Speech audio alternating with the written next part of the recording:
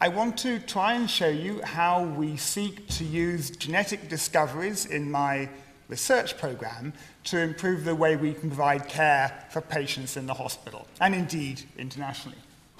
And I'm going to illustrate it by a group of not very common conditions that are inherited and that have the devastating problem that they cause relatively young people to be at risk of dying suddenly. The first thing I want you to do is to think about the way in which your genes can put you at risk of disease.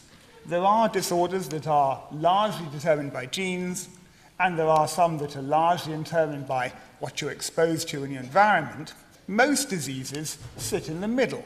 So if you're talking about a heart attack, usually if you get one of those, it's because you've had several different environmental risk factors, and you'll have a bunch of different genes that make you each a little bit more likely. At the genetic end of the spectrum, there are conditions that are almost entirely determined by a single spelling mistake in a single gene. And you'll know about conditions like cystic fibrosis, which would be a classic example. Now, I think it will make sense to you that if a disease you have is determined by your genes, it's quite likely to affect you early in life.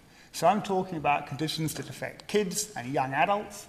And you probably know about this because you'll read about it in the press, typically when it occurs in a young athlete or sports competitor. And these are two tragic um, illustrations of young guys, by chance, just both African American basketball players, who died from one of these conditions when I was first working on the genetics of this when I was at Harvard about 15 years ago.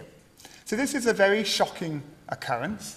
It's not terribly rare. It happens about a thousand times a year in the UK.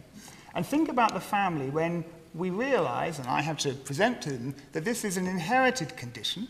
So one or other parent, half of the brothers and sisters, and half of the kids of the person who died likely have the same genetic tendency. Both of these two young men died of a form of heart muscle disease, which is hypertrophic, which means thickening, cardiomyopathy, which means heart muscle disease, we know for sure that it affects about one person in 500. Most people with it get very little trouble, but a small subset will be at risk of dying suddenly. And because dying suddenly in young people is fortunately rare, this turns out to be the commonest cause. So when a young kid at school suddenly collapses playing on the sports field, this is most commonly what's done it.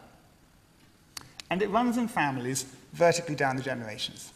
And that tells a genetic scientist like myself that actually we can use genetics as a powerful tool to find the cause of this condition. I can summarize about 10 years of work to say the problem actually is precisely here in the actual molecular motor in each of your heart cells.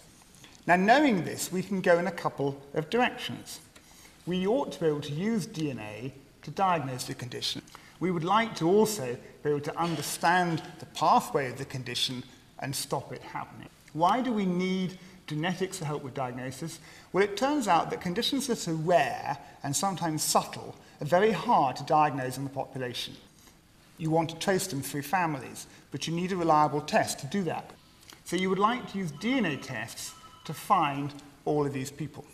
And I'm going to illustrate how we do that by showing you a family tree. And this is the way that genetics doctors and nurses describe families, we use squares for, for men and, and circles for women, and we will darken or bold the symbol where the condition we're talking about is present.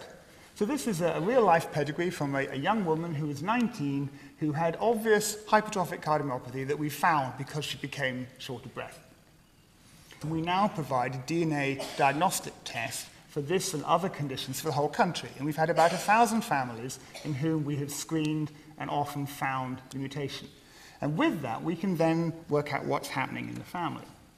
So my last comment is to say that I would like to understand, and I believe I'm beginning to, the actual pathway that causes the heart to thicken and to have electrical problems.